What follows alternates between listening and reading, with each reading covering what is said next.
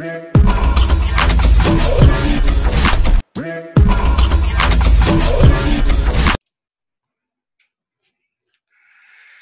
it's, it's, it's things blowing my mind at the moment. This is a weird world.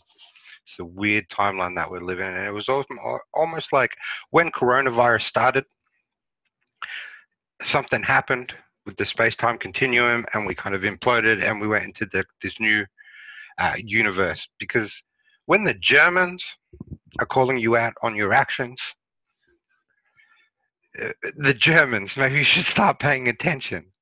This is the craziest shit I've ever seen. Angela Merkel finds Twitter's hold of Trump account problematic. Angela Merkel, far leftist, far leftist from Germany. Uh, Chancellor Angela Merkel believes that the decision by social media giants to permanently suspend Donald Trump's accounts is problematic because freedom of opinion should not be determined by such online platform bosses. 100% agree. And I, it makes me sick that I'd even agree with this woman, but hey, uh, what's what's going on here. The fundamental right uh, to freedom of opinion is a fundamental right of elementary importance, and fundamental and this fundamental right can be interfered with, but through law and within the framework defined by the legislator. Uh, not according to the decision of the management of social media platforms. It's 100% true. Um, like so I, I was thinking about this a little bit because well we, we know we know Merkel's a globalist. I mean, is is she trying to convince people that she's like fair and balanced and an open-minded person, and even her critics should love her? Like, it, it, it, is that what she's going for here? Is, is is that the show? But she's she's leaving at the end of the year. She's not up for re-election, so I don't I don't um I don't understand this world, man. This is this is crazy, and people are slowly starting to jump on it.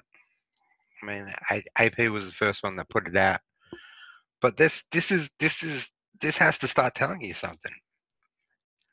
When when a globalist like this, like, did they did they overextend here?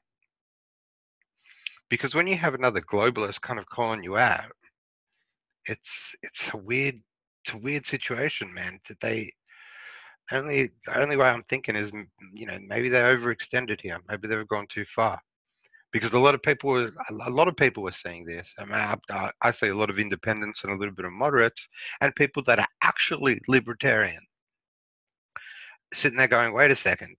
Yeah, especially with Biden's first speech that he put out the other day, pretty much condemning all white people. That was his first illegal act.